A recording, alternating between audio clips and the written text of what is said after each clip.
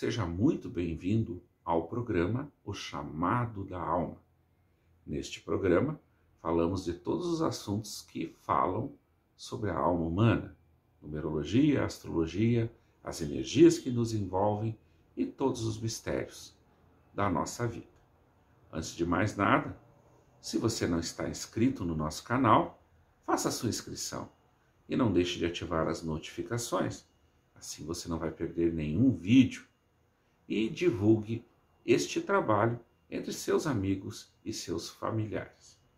Se você quiser uma consulta particular, é só ligar para o meu WhatsApp, tem um número aqui, e terei o maior prazer em atendê-lo. O tema de hoje é defenda-se do olho grande. Né? Se fala muito em olho grande, olho gordo. Né? Então, o que, que é o olho grande, o olho gordo, o mau olho, o olho ruim? Tem vários nomes, né? Cada lugar do Brasil tem um nome parecido. Mas basicamente o mais conhecido é o olho grande. Então, o olho grande é uma emanação energética extremamente negativa e desarmonizadora que é emitida pelos olhos. Por isso o nome olho grande. As pessoas que fazem isso são pessoas que têm uma energia psíquica muito forte, mas desequilibradas. Então, elas emitem aquilo, na maioria das vezes, de forma totalmente inconsciente. Elas não controlam isso. Geralmente, a pessoa não se dá conta que tem o olho grande, o olho gordo. Quem se dá conta são as pessoas à sua volta que percebem essa ação dela. Atinge com muita força os animais e as plantas. Vou contar uma historinha para vocês, né? Então, o que que acontece? Eu era bem cético quanto a essa questão de olho grande. Quando comecei nas minhas uh, buscas de conhecimento espiritual, lá pelos 15, 6 anos, numa das muitas casas que a gente, que eu morei na adolescência, tinha uma vizinha é uma pessoa muito boa, que todo mundo gostava, e tinha a fama de ter um olho grande terrível. Que se ela botasse o olho num animal numa planta e, a pessoa não desse para ela, né, aquele animal, aquela planta sofria. Eu achei aquilo uma besteira, sem fim. O que, que aconteceu? Né? Minha irmã ganhou um cachorrinho, né, um bichinho, muito bonitinho. E ela botou o olho. Ah, que cachorrinho, não quer dar para mim? Não, não, é presente e tal. Cara, não deu 24 horas aquele animal, ficou, ficou doente e foi. Faleceu e acabou. Né? Era um filhote pequeno, não tinha problema nenhum. Não deu problema com os outros da ninhada, né? Então foi uma coisa muito estranha. Eu fiquei assim, mas pode ser coincidência. A minha mãe plantou uma árvore frutífera, não me lembro se era figueira, pitangueira tal, no terreno que a gente estava, e aquilo lá começou a crescer, estava indo bem. E aquela vizinha que fazia muito tempo que não aparecia lá em casa, ainda bem, né? Apareceu lá, ah, mas que bom, olha, a senhora conseguiu uh, fazer com que nascesse aqui essa figueira, essa pitangueira, não lembro que, que árvore era. Eu já estou tentando faz três anos. Ai, que inveja que eu tenho, não sei o quê. E saiu. Olha, em questão de seis horas, começou aquela planta a murchar e secar. E estava forte. Planta de um metro e pouco. No outro dia estava sequinha, inteiramente seca. E não teve o que fazer. Né? Foi. Acabou vitalidade daquela planta. Aí, a partir disso, né, que eu comecei a acreditar, né, melhor, comecei a ver que realmente existe uma influência chamada olho grande ou olho gordo. E tive a oportunidade de ver comigo, na minha vida, e de várias pessoas como isso funciona. Atinge com muita força animais e plantas, né? principalmente animais pequenos, e as plantas ali, às vezes até árvores maiores, podem ser atingidas. Né? E assim, infelizmente, é uma coisa que tem bastante por aí, tá?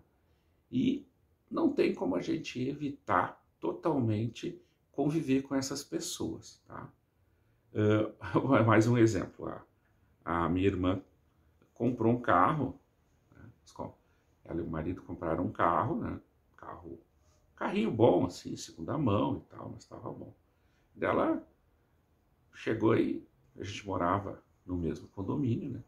Ela chegou e me mostrou, olha, eu comprei o carro de ah, que bom, né? Ficou legal e tal. E passou dali um, uma hora, duas horas, ela me chamou lá, Regis, vem cá, o que que houve? O carro não liga mais. Estava funcionando e não liga mais. O que que aconteceu? Uma vizinha do condomínio, né, olhou o carro e a minha irmã falou, ó, oh, esse é o carro novo que a gente comprou, né, tal, tal. E depois que ela botou o olho em cima, meu filho, o carro não ligava mais, de jeito nenhum.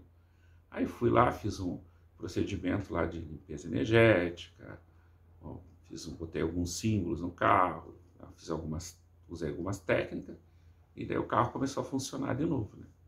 E uma pessoa que tinha uma condição econômica muito melhor que a da minha irmã.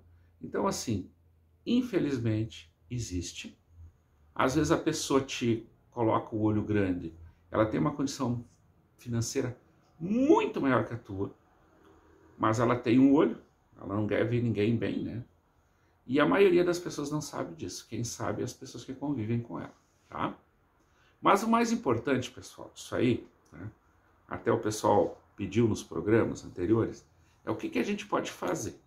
Bem, eu criei um curso chamado Curso de Defesa Psíquica e Energética. Vai ter o um link aqui embaixo para vocês.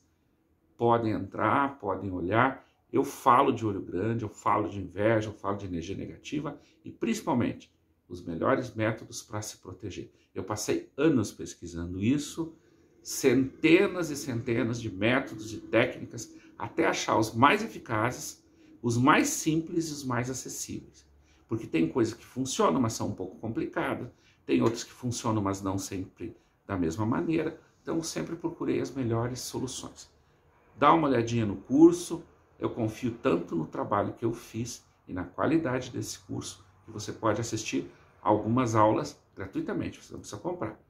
Pega o link ali, dá uma olhadinha, certo? Essas dicas que eu vou dar agora estão no curso e muito mais, bem mais aprofundadas.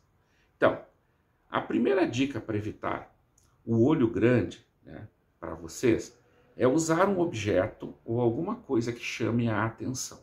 O olho grande costuma ter uma carga muito maior na primeira olhada que a pessoa dá.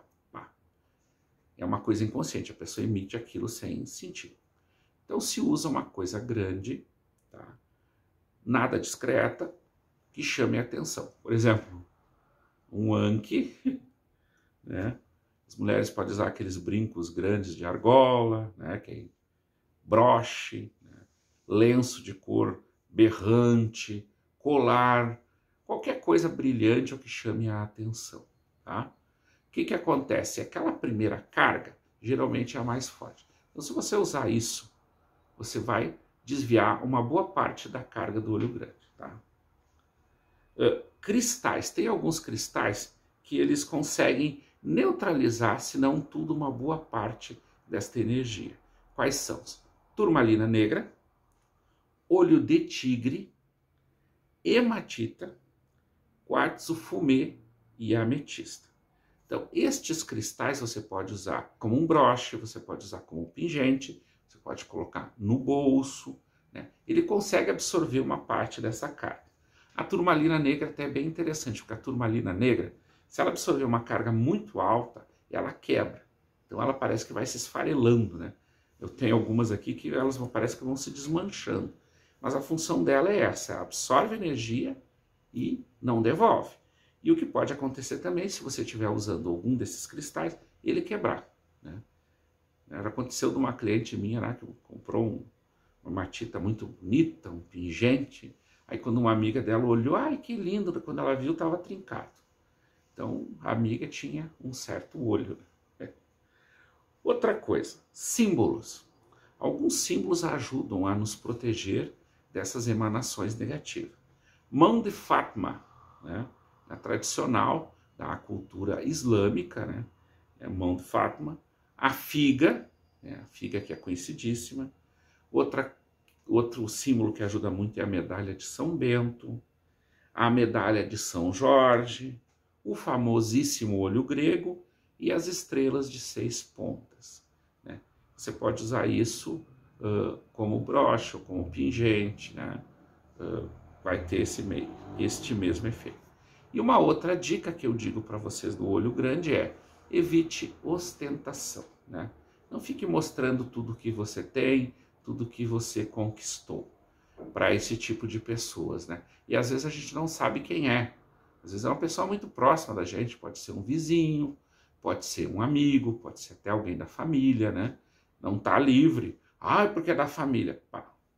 As pessoas da família são pessoas que têm tantos ou mais defeitos que as outras pessoas. São todos pessoas.